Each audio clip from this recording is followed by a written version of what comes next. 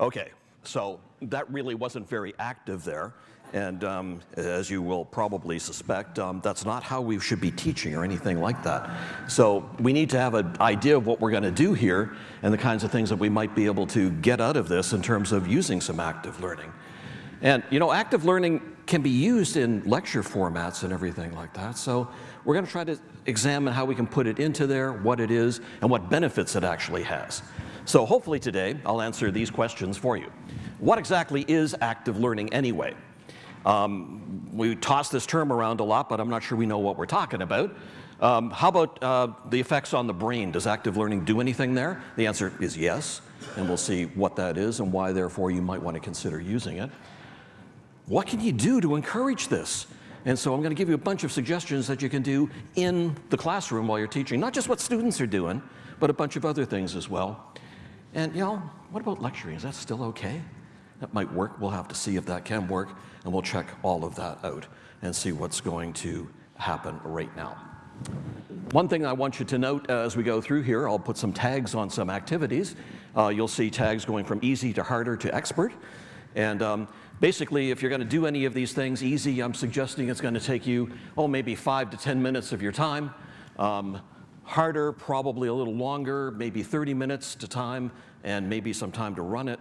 Uh, significant uh, time investment is in the expert category, and uh, that also may require some specific knowledge on your behalf as well. And so that kind of thing might be important. Another thing I'd like you to note too is right at the bottom there, we're going to do a, a back channel chat in class today. Conveniently enough, this one's called back channel chat. And so if you want to join, please go to this website right here. It's real simple to log in um, and um, takes just a couple of seconds.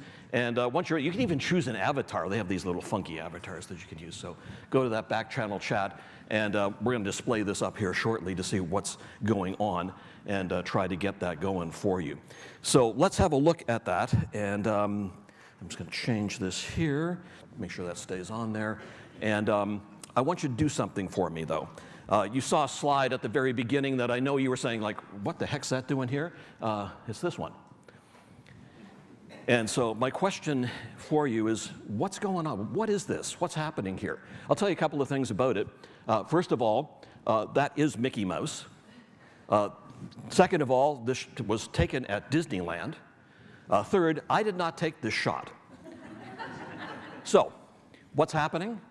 See if you can figure that out. And what I'd like you to do is try to answer that by, whoops, not doing that. Try to answer that by um, just turning to somebody next to you, chatting for a few seconds. If you want to put it up in the back channel, I'll put it up here. Uh, but I'm going to ask some people to try to tell me what's going on. Some people know what's going on because I've told them about it before, so don't you guys chime in.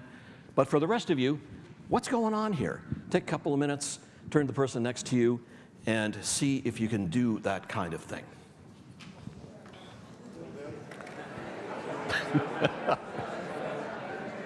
okay, we got to figure it out now? Nobody's posted anything at that particular point.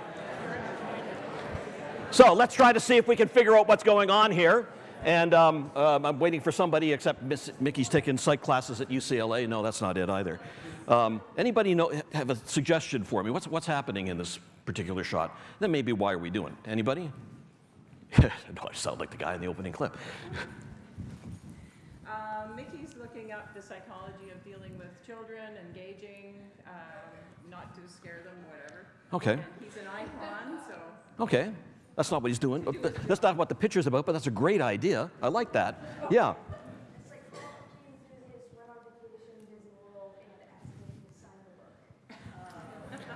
Ask Mickey to sign the book? Yeah. You're really close on that one. Really close.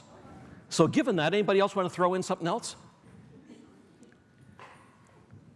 Yeah. My take is the book's just barely open, so he's looking at the table contents. Mickey's trying to figure out what the heck's going on. Okay, cool. Uh, what this is actually is this was taken by one of the students in my psychology class. They're on spring break, And um, I run this contest over spring break, that is because there's an exam coming up. What you've got to do is you've got to take your book with you, take a shot of you with the book wherever you are in the world, and bring it back and we'll post them. And um, I offer them a $25 gift certificate for the best shot and it gets voted on. Uh, this was certainly one of the best shots at one time or another, which is good. Uh, here's some others that came in, by the way. I don't know. Um, how about this one? You can see this psychology. This was taken in Brazil, and um, I hope that's not for sale there. Tremblant, yeah, we can make it there. And for you hockey lovers, uh, Don actually signed the book, which was kind of cool, so I like that. Um, that's kind of an interesting thing to do because it's you know, promoting going away and studying. But I'll tell you another thing that it does is that it really builds rapport so that we're doing something that's fun at the same time that you're working on stuff because you got to do an exam on this material. Students actually love doing this thing. It, it, it's really quite nice. Think about that, how you can run a contest of a similar kind in whatever class that you happen to be teaching. What exactly is this stuff that we're calling active learning? Um, it's hard to, you know, pin, I, I hate definitions because as soon as you define something, there's always exceptions, right? But nonetheless, it's kind of this sort of thing. Students are actively or experientially involved in the learning process. Fantastic. And we know that that kind of thing is going on. Uh, so they're doing something as far as learning is concerned. Students do things and think about the things that they do. Fantastic. What they do is they think it through and they make associations. And this is what Carrie's telling us here, because that seems to be an important thing to get some learning done, to do that kind of activity. And uh, when you have a look at thinking it through and making associations, um, these are the kind of things that they're talking about, and Kerry mentions these. Um, he says here, the two maxims are think it through, make associations, and then there's a bunch of principles for each one. So I've just, I've just picked out about four. Uh, think it through. Promote deep processing. And what that means is it's beyond the face value. Deep processing is cutting down, looking at associations, what this thing means, what it's connected to. That way you're going to remember it better. And uh, certainly uh, Craik and Lockhart, these are memory researchers who came up with this, say that it actually works. It gives you better memory. Require uh, recall of relevant information. So you got to come up with something in order to connect it to something. And so we need to be doing that kind of thing. Promote dual coding. Okay, dual coding is an interesting idea. A lot of people have talked about it. Uh, what um, uh, talking about is make sure that we present the material in a variety of ways. When you do that, you actually enhance the memory tags. It gets in faster, it does a lot of connections there. It works very well. Evoke emotion. You're probably not thinking about that one, but apparently that works too because emotion can be a tag for memory recall, and so it sticks things in in that way. What about um, promoting chunking? Uh, we need to put information together. We need to cluster it. It's not just a, a laundry list of facts. We need to you know, find a way to put them together, and that works very well build on prior associations. Ah, so I got to figure out what this new stuff is and what it means for what I already know. And so I'm going to stick it in there in that kind of way. Present organizational scheme. How is this stuff related? One of the things that students have a tremendous trouble with is how does this stuff all connect together? You know it. You know why you're saying this and this and this in that order. Tell them about it too, because now you can give them something else to hang it on. And that seems to improve memory. And um, those chunks that you've um, elicited there, sequence them into stories. Stories are easy for people to remember. Stories people tell, they think about it. And so it's, oh yeah, I remember this, this, this. And now it's, it's another way of getting that information out. And that works very, very well. These are maxims. I'll just remind you of the first two again. Promote deep processing, require recall, promote dual coding, evoke emotion. And uh, here we're promoting chunking, prior associations, present organizational scheme, sequence those into stories. I want to know how many of those you use. Now, um, Carrie talks about 16 of them. I just show, shown you eight. Uh, and is there one that you've never used? Would you please then join our back channel and tell me how many you've used, which you've never used, and if you um, don't want to use the back channel, you can use this uh, vintage platform called Treeware um, and just write it down on a piece of paper. Take a few minutes to do that, and let's see what people are using for active learning. For those of you who are logged in, it doesn't take long to post. Okay. We got it? I'm thinking about it? Okay, so of those eight principles, how many use all eight? Fantastic. How many use at least six? Another couple. Four? Okay, I've got about uh, maybe 10 people now. One? Wow. Well, but, uh, that, I didn't think that was like mutually exclusive. One or more. Oh, okay. That helped. Okay. So maybe, maybe we have 25 people, 30 people in the room who are using some of these, and that's kind of the thing that you need to do to think about active learning. We got to do that stuff. It's not that difficult. Uh, hopefully, I'll show you some ways that we can get that done. Now, whatever active learning is doing, where'd that come from? What happened? It left me. Okay, it's right there now. It's okay. Does it work? Absolutely. If you look at the data on this, you'll find that um, people suggest that all of these active learning principles end up doing something important for you. Um, a meta-analysis by Freeman, uh, 225 studies. Uh, what they looked at is in STEM courses, uh, failure rates dropped from 32% to 21%, which is pretty impressive by comparing active learning to traditional lecturing. Uh, advantages are seen in physics, physiology, any PBL course, uh, things of that sort. Active learning seems to increase student performance, student achievement, and it drops the failure rate. In fact, the National Academy of Sciences in the States uh, said that given that, it's kind of like unethical to not use this stuff, right?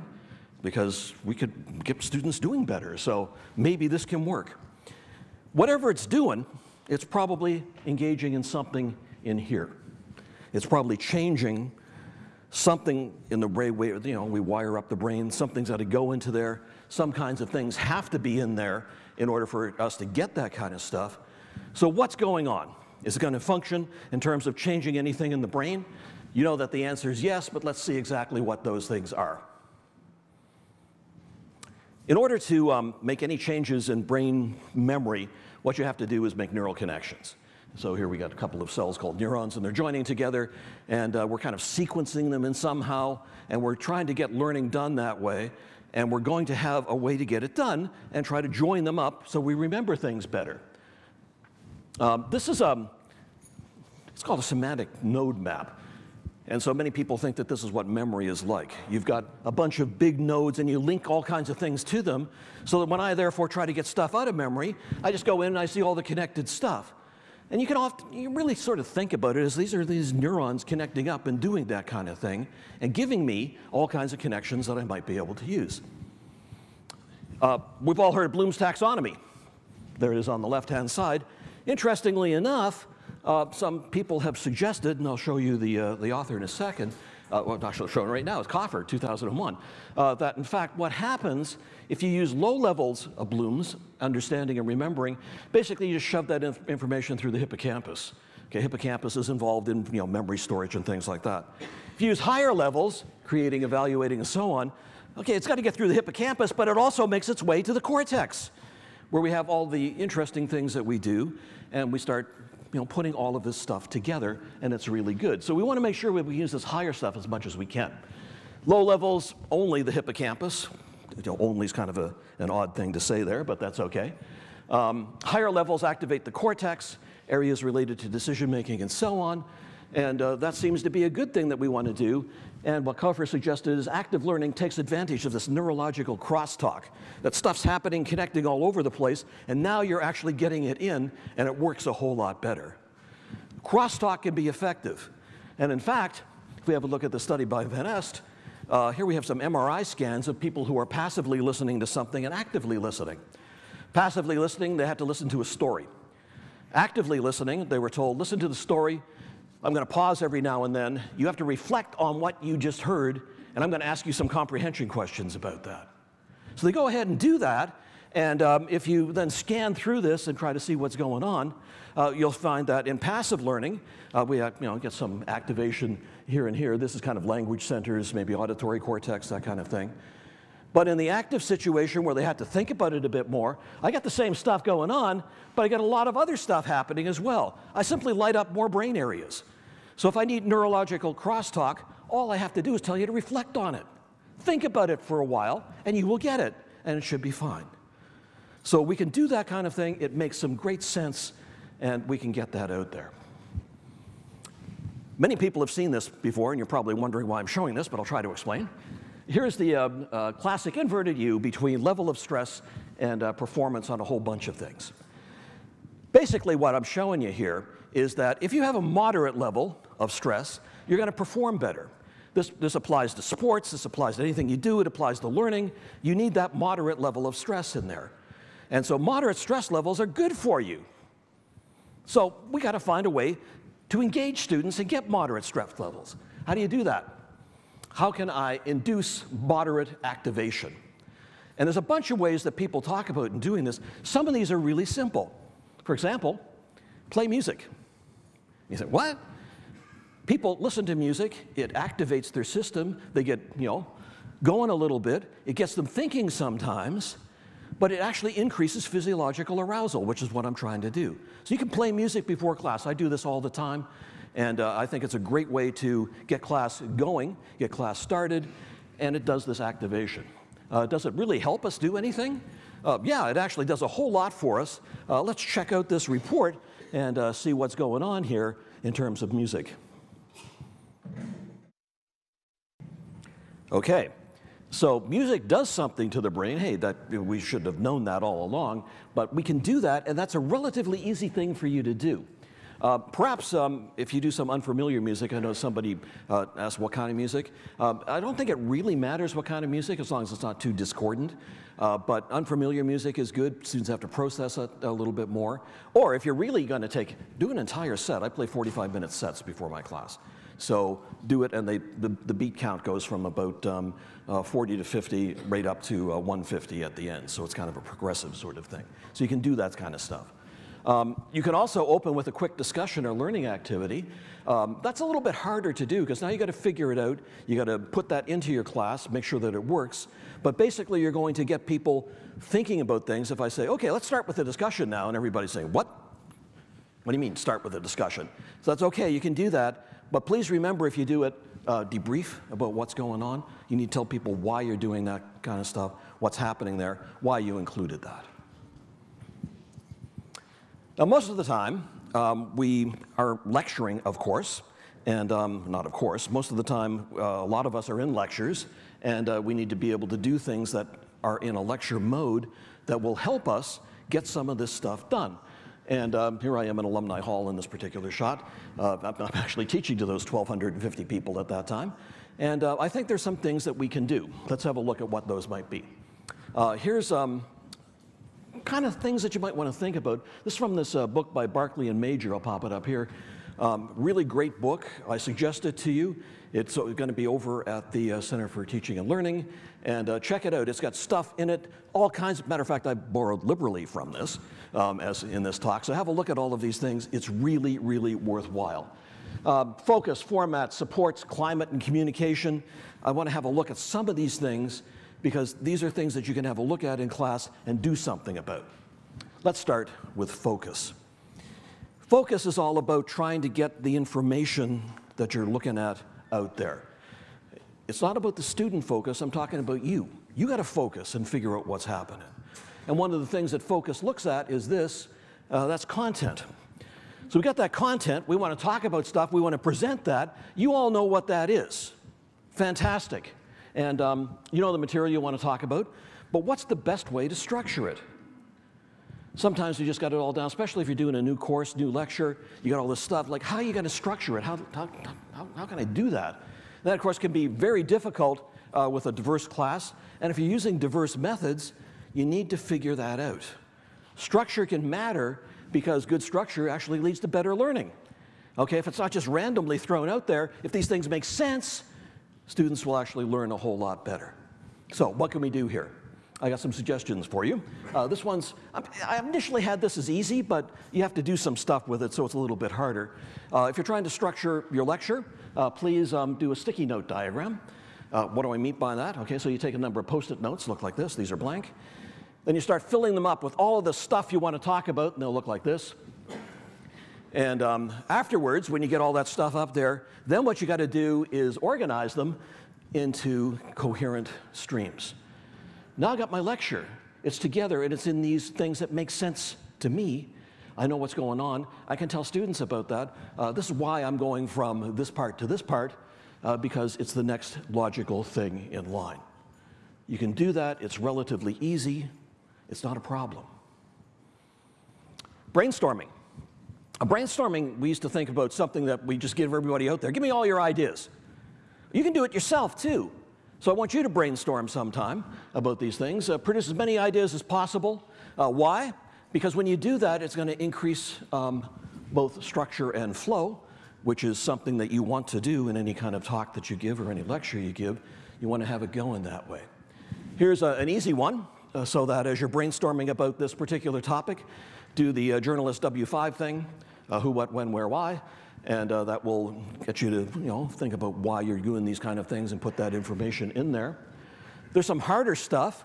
Um, one's called a role storm, and um, that's okay. I'm going to teach you about this, but what would somebody else say? So I'm teaching um, uh, entrepreneurship, and I'm going to say, what would Steve Jobs say about this if he were talking about entrepreneurship? What would um, somebody else say if they were doing this kind of thing? And think about it that way because it's going to change it. It's going to change how you present that, and it might be a good thing to do. What if? What if the hippocampus gets damaged? We're going to be able to remember anything? By the way, it's not just you thinking about that, you can also throw that out to the students. If there's no hippocampus there, am I going to be able to have any kind of memory? The answer to that is you'll have long term memories, but probably terrible short term, if at all. And so you might not be able to learn new things. So, what if this happened? What if Germany won the Second World War? Where would we, you know, what's going on? Those kind of things can be a you know, really interesting thing to do. Uh, here's another harder one attribute change. So now what I want you to do is think about okay, um, I'm going to give this lecture. What do I need to know if I'm somebody else? If I'm a different gender, different sexual orientation, different race? How does my thing come across? How do I give this information? And what might I need to do in order to get that done? It's harder because you need to think about it a bit more and uh, consequently, uh, these things are going to be more difficult. Boy, people are really weighing in here, which is fantastic. Um, uh, thank you, Kim, with Spotify. Yeah, you can do all kinds of great stuff with Spotify. And uh, uh, just as a side note, uh, those lecture um, um, music sets that I do, I post them on Spotify for students as well, so they can go there and get them. But we can do these attribute change, that's fine. We can do these things. It gets us into the role of thinking differently. What about climate? Classrooms feel different to people. Classrooms feel different to you, classrooms feel different to students, and we need to think about what's going on there and what kinds of things are happening in that particular climate situation. Climate's a lot about motivation. So if I have a particular classroom where I can get you motivated to do things, you're going to come there with an interest in learning. You're going to want to get that done. If you're not motivated, like why show up at all? And, you know, really, so what can we do about that? What is your learning space like? You know, think about it. Is it welcoming? Is it pleasant? Uh, mine, I try to make as welcoming and pleasant as possible. I play music. I turn the lights down. I get the garbage cans out of the way. So that when students are coming in, you know, it feels like a different setting. Uh, by the way, do students come early? Or do they show up at the last minute or uh, you know, when you're 10 minutes into? My students show up 40 minutes before I start talking and we sit around and chat about a whole bunch of things, and they listen to my music. Do you generate enthusiasm and interest in some fashion? That's really important, by the way, because if you can increase motivation, you got better learning. So I want to generate all that stuff, and I need to do that in order to get students to learn better, and hopefully we can get a lot of that done. Increased motivation, better learning, absolutely fantastic. What can you do? Here's another couple of things. Uh, by the way, I saw uh, something on the back chat a little while ago. Uh, will these slides be available? Yeah, yeah, they will. We'll post them on the uh, TSC website, so you can always get back to them there. Do a lecture preview. Lecture previews um, is where you let students know what the lecture is about. Oh, that's kind of an interesting thing. And that you're excited about it. So you just don't walk in and say, okay, let's open our books and start today. We do something else about what's going on. And we get students like focused and into there as well, which is a great thing. It builds a different way of, of what's happening in the classroom. This is more than an outline, by the way, and it's really simple to do. For example, uh, here's one of my slides that is up uh, before class when I'm teaching. Obviously, I'm talking about learning, and there's a bunch of stuff in learning. I've even told you what's coming up next time and what you should actually read. Uh, but there's an image in there. Anybody know what that image is? So it's from A Clockwork Orange. And so you're thinking, what the hell's he doing? Like, why have I got a you know, picture of Alex from Clockwork Orange in there? You're thinking about it. Anybody know why Alex from Clockwork Orange is in my learning lecture? That's right, he gets a particular kind of therapy in there that I'm actually going to talk about later. And so now I haven't said a word, and people are thinking about what it is that I'm going to do. Simple. You can do this with your lecture preview slide. You can also post this on a website, which is very nice, so that students can see that beforehand. Simple to do as well. And by the way, at the end of class, you should talk briefly about what's going to happen next. So I always close my lectures with, okay, we've done this, we've done this, we've learned about this, but what about this? Think about this. How, what would happen under these circumstances? And we'll deal with that next class. So that you know where I'm going now, it's, and you know that I'm not just going to walk in and start talking about something you don't know anything about. You know exactly what it'll be about. And I've even told you what pages to look for in the book to find it. So you can do those things. Meet and greet. This is easy. A lot of us do this, and you, you, know, you kind of think, oh, yeah, I'll do this first class maybe. But you can do it a lot. Introduce yourself. People who come into your class, they may not know who you are. I was actually sitting in class one time, somebody walked up and said, like, Are you the prof for this class? yeah, I mean, it's like, you know, they don't know. And so what you got to do is introduce you, walk around. In my class of 800 over in North Campus building on my first class day, I walk around as much as I can in that 45 minutes and try to say hi to everybody. Or I'll try to get them when they're coming in the door. Introduce yourself. Ask them who they are as well, by the way. You want to know students' names? Hey, ask them. It's easy. You might not, I, I guarantee I do not remember all 800 names, but I probably remember some, and that's probably a good thing. You can engage in small talk. We often talk about music, what's going on, that kind of stuff. It's really, really good. It also makes you a real person. And you think, wow, that's, do I really want to do that? Yeah, you are a real person. You're somebody who not just lives and breathes whatever it is that you're talking about, you got other stuff going on. A real person is great, increases rapport, leads to higher motivation, and I think that that's a great thing to do. The hook. The hook uh, is something that could be a thing that we use at the beginning, could be something that we use at various different times.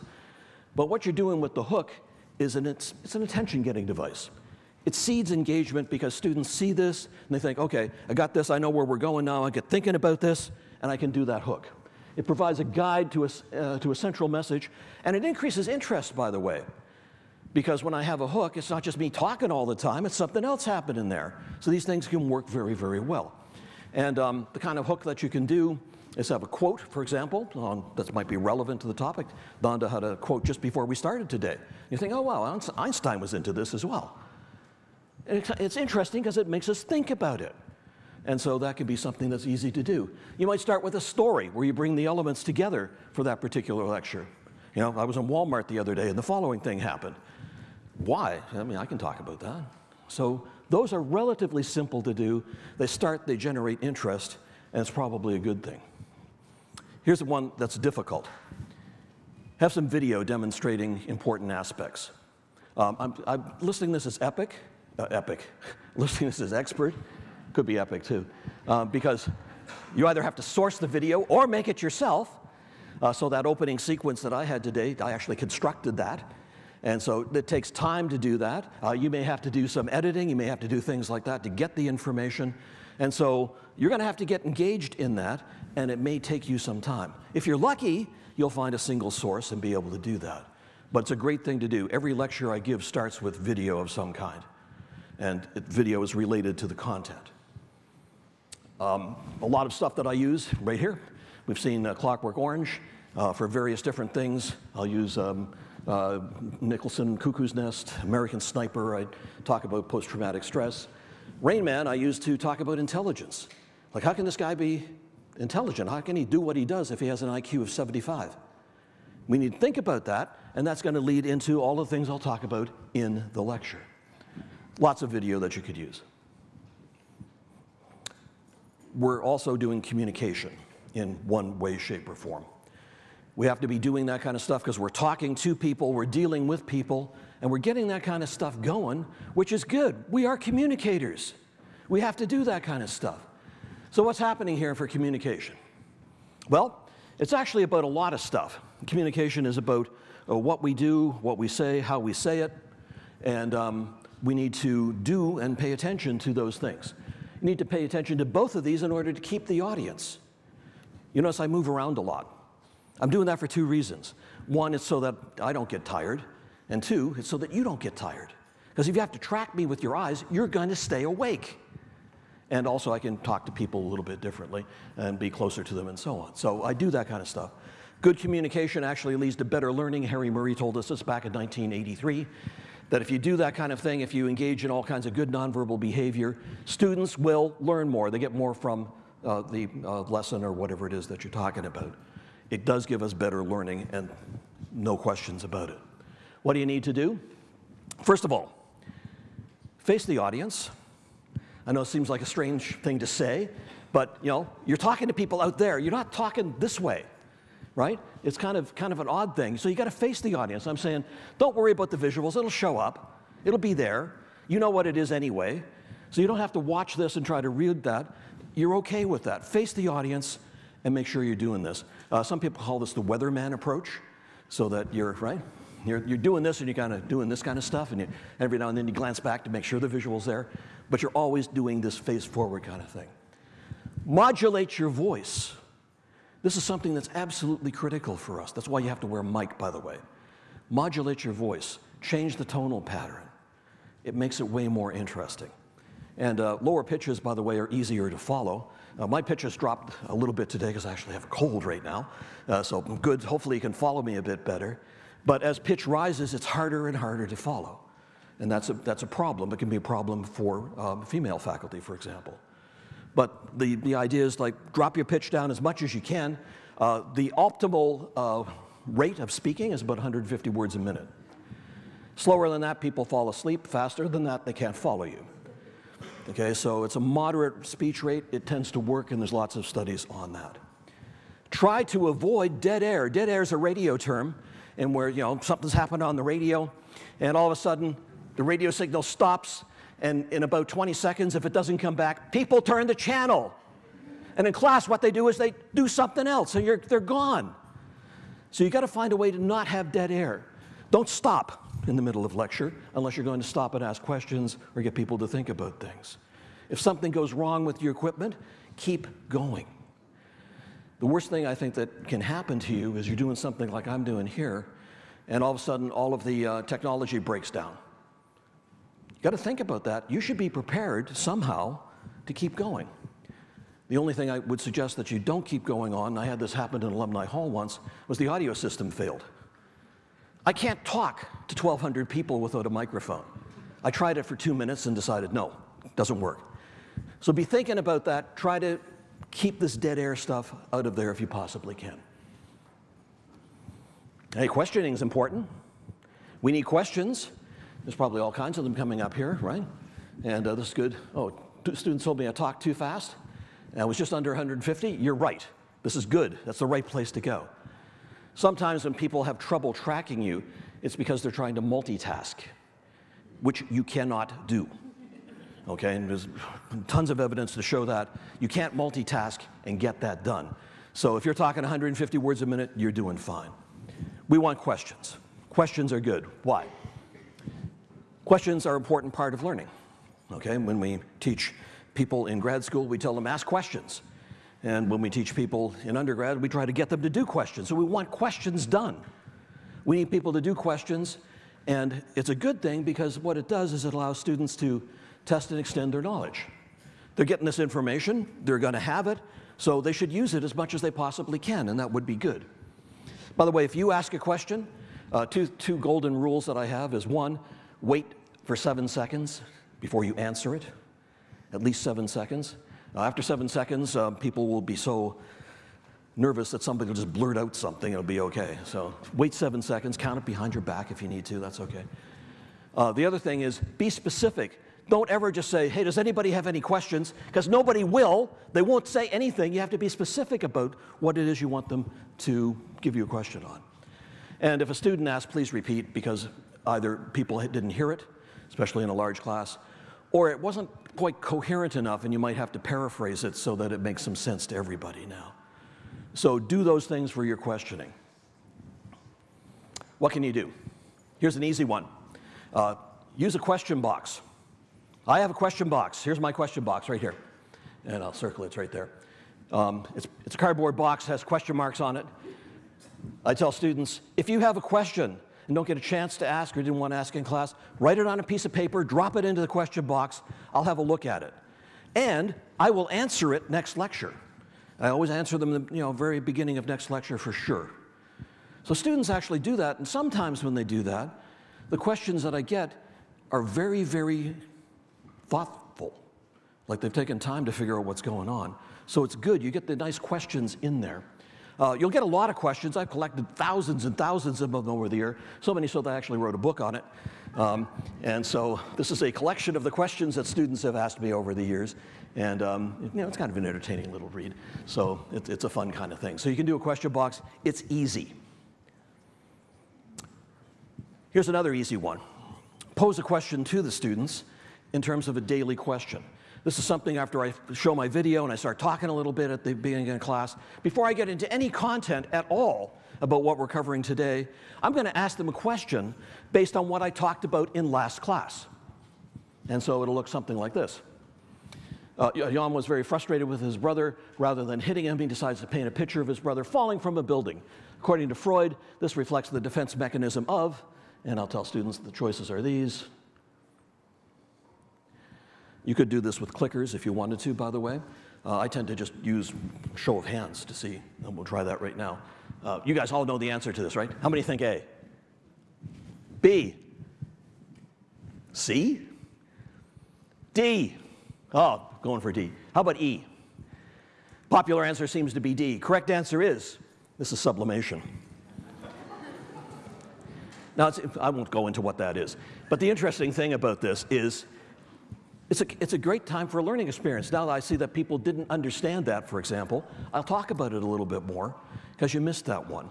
And in fact, I might talk about why this is not projection. Most people take projection because they say, yeah, it's a Freudian term I've heard before, right? right, okay. So therefore, that's up there.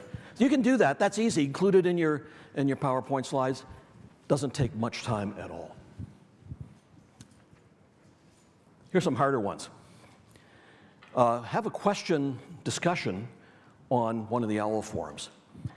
Uh, I have a discussion thing, and it's actually for grades, where I'll post a, an issue that students have to go in and deal with. And what they have to do is actually ask a question about it. And they're graded on the complexity of their question. They do it in small groups of 20 uh, in an online forum. And then after all the questions are in, they have to answer somebody else's question. And they're also graded on that in terms of complexity and citation and so on. So you can do that. It's easy. You get people to ask questions. They get used to it. And it's something that is very valuable for them. I'm saying it's harder because you got to figure out those questions. You got to get your forums going. If you're like me and have 800 people, I've got to come up with you know 50 different groups. And uh, yeah, I can randomize, but it doesn't work all the time. But it still is something that you need to do. Um, learning cells. These are great things that you can use as well, a little bit harder. Uh, students um, are given you know, the topic for next lecture. They have to go home and write questions about it. And then you come back, and the very first time in class, you say, okay, uh, you pair up with you, and you pair up. I randomly assign people to pair up. And now what happens is one of you asks the other person one of your questions. And you talk about it for a while. You can do that, and then you can either post your answers in this kind of uh, situation. Uh, you could use clickers to do it. There are many ways to talk about that discussion, but uh, you pair off and actually get involved with what those questions are, which were, by the way, student generated, which is kind of interesting. You can do a gallery tour. This is something that can be kind of interesting as well. And a gallery tour will work in a whole bunch of situations. Uh, gallery tours, um, in this kind of thing that I have in mind, are where you would come down and uh, say, okay, I've got people talking questions in various places here in the uh, classroom. Uh, now we're going to go around and see what you're talking about. So I might walk over here and say, Andy, what kind of question you got for me? And uh, we'll talk about that for a while. And then I might move over here and ask some, you know, get some other stuff. So you just move around and rotate and talk about the kind of questioning that might be going on. Uh, you can do it with all kinds of things. You can do it online. It doesn't have to be about questions. It can be about other work projects that students are doing. It's relatively simple. All I've got is a harder tag simply because you have to spend the time getting it done. And it's going to take some time if you're doing it in class, which is another thing for you to think about. And uh, therefore, you got to figure out how to slip it in. Go back to those post it notes, figure out where it's going to go and why. And I have another question for you guys now. Is it better to take notes by keyboarding or by using pen and paper? And if so, why? I'd like you to post it on the back channel up here if you can. But um, as you're thinking about it, uh, just turn to the person next to you again. Matter, matter of fact, I'm going to say turn to somebody else, maybe turn around, talk about it for a few seconds, and tell me which one's better and why. If you can post the answer, fantastic. So, not exactly complete lecture, not exactly active learning, but it got the job done. And so, when we try to consider this topic, uh, mm, let's look at a couple things here. Uh, lecture actually comes from the Latin uh, lectare, which means to read aloud or to say that which is read. And so, of course, lecturing was something that actually was read. So the people who knew the stuff talked about it and everybody else listened. And it was the primary model of information transfer for centuries. Active learning, we've all heard about that and thought about it and talked about it. A relatively new concept, really. Um, been talked about since 1852, but um, didn't really get popularized till the end of the 20th century when people started saying, yeah, well, you gotta, you gotta do this stuff, you gotta think about this, you gotta use this a little bit more. And so people started thinking about it, and they came up with the idea that the lecture actually is dead. Well, is it? Here's against the lecture, and these are from Barkley and Major again. Um, Students are passive learners. Um, if you start lecturing to them all the time, they become very passive. Uh, they often call this the banking model, where the professor's up here and I'm making deposits into your head. And some of them stay, some of them don't, some of them you spend, whatever. But uh, you're passive in that situation. Students have no control over their learning. They're there listening to me do stuff, but they're actually not constructing it, thinking about it, doing those sorts of things, and it's tough. Research indicates that the lecture is not the best approach. There's tons of things to do. Here's that Freeman study again. Uh, here's a couple of people who talk about this stuff all the time. Eric Mazur says it's almost unethical to lecture because we know it doesn't, quote, doesn't work. Um, Nobel laureate uh, Carl Wieman says uh, that uh, lecturing is about effective as bloodletting. Sounds pretty dismal. For the lecture, well, students can be active learners in lectures if you let them. And uh, they get a bunch of other skills, by the way. I know you're going to say, yeah, yeah, right. Um, they learn some note taking skills, which they have to do, and that's fantastic. Um, they learn how to pay attention in these sorts of situations. We have to help them a little bit with it, but they learn those sorts of things. And they learn how to listen when you're dealing with complex issues. And those things might be very valuable as you know, you're moving along in life and so on. So lecturing can give that for them. Another thing that I would say is in favor is the professor is the expert on this topic, and sometimes it's the time for telling. Sometimes I have to give you that information. Sometimes I need to shove that out. And maybe we can think about it later, but yeah, that can happen, and you need to do that. And uh, the other interesting thing that uh, I've noticed here is the research on uh, active learning is almost entirely based on STEM. Uh, there's hardly any, which is kind of interesting in a way, but there's hardly any in the social sciences. So maybe it's the case that this stuff works really good in any kind of STEM related area. I don't know about social science, where lecture and discussion is something that we do all the time. The discussion, of course, is active learning, but it's a different model, perhaps. So we need, we need some research here in uh, social science areas. Barkley and Major say, ah, this is a non issue. What you have to do is put it all together because, in fact, they would say you've got to have interactive lecturing. And it's a non issue completely. They say, rarely are classes 100% lecture, or rarely are they 100% active learning. We all combine aspects of both into almost everything we do. And um, most profs who lecture include some active learning. Most profs who are active learning profs have to do some kind of telling, and so it's actually in there. And so we're, we're good. We use both. The critical thing then, the real question, is how do each of these, how do we do each of these pedagogical techniques well? Because we need to use them both, and so we should use them as effectively as we possibly can. And that's a really important thing for us to figure out. So, what do I want you to do? What's your takeaway messages? You got some of these. Again, these slides will be available so you can have a look at some of those other ones as well. Uh, what can we do? Because I want to affect this thing and try to get it in your head as much as I can. Uh, well, number one, please use some music in class. You love it, students love it, everybody loves it. If you don't like music, it's okay, but it'll work. Number two, use that lecture preview. It's easy, it's simple, it gives you some direction, some guidance for the students. Relatively easy for you to put together. I think you should do that. Use dual coding as much as you possibly can. So, therefore, have this stuff not just auditory, visual, not just PowerPoint, other stuff. So that students can get all that stuff and maybe they get a little emotional as well, because remember, emotion works, and a lot of those other things are emotional. Imagine yourself in those lecture seats, because that's a really good thing for you to try to understand. And encourage your students to think and reflect. That's going to get that stuff in there, it's going to make it work, and you need to do all of that kind of stuff in order to change what's going on in your head. One thing I'd like you to note here here's one of my favorite quotes uh, by a guy named Guy Allen, who's a 3M fellow from Toronto. Um, Teaching is a sacred activity. Its power to affect people's lives positively or negatively is overwhelming. To be a good teacher, you need love, energy, clarity, idealism, and realism, something of the spirit and something of the earth. I want you to keep that in mind, but also I want you to join us at the break outside where we're going to have cake. And um, fantastic. We're going to have cake, and, um, but we're celebrating all of the uh, new teaching fellows, all of the teaching award winners. They'll be outside and happy, happy, happy to talk to you. So please go out there during break.